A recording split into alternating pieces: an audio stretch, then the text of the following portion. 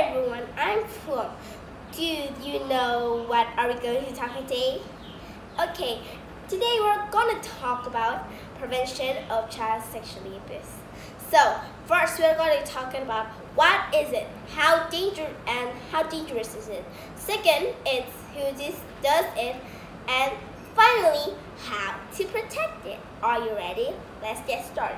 First, it is what is it? It is an activity that pe bad people like to do, like, like, like sexual the children from 30 to 50 years old.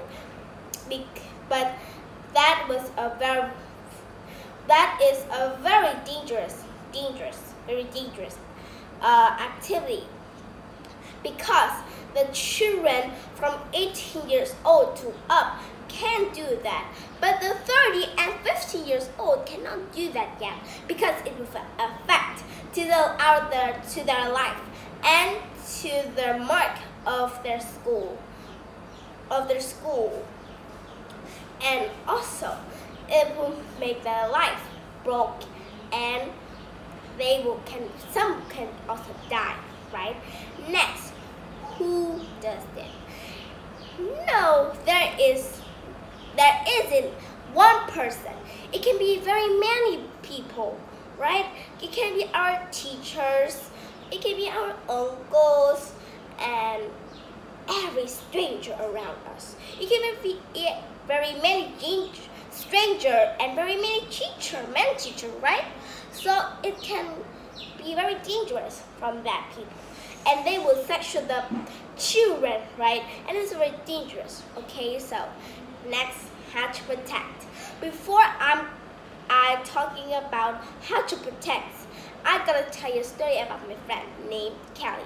So Kelly went to a swimming pool lesson.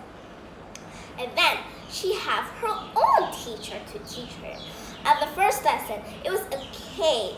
Like they tried to breathe underwater, so it's just okay. But the second lesson was very dangerous for her because then she, because she tried to float on the water and tried to swim. So the teacher has to hold her body, but he hold at the wrong and important part of the body. So she feel a little bit shy and a little scared.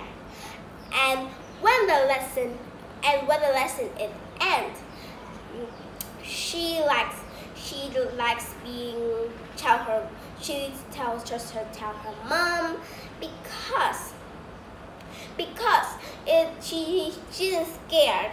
She she just tell. She didn't hide everything the secret that that teacher told uh, the teacher had do. And then that teacher has to be punished because doing that bad thing. And then then we are going to talk about yes we're going to talk about how to protect and how to protect yeah i have said in the story Kelly my friend i have said just tell your the parents or the adult that you believe like grandma grandpa uh, police like mother father all of them and then you you do not hide because it broke your life? And then warn everyone around yourself, the children from 30 to 15 years old. You need to warn, warn everyone. Not only your friends, everyone around us. Even the, even the, um, the person we didn't like to play. Just tell everyone.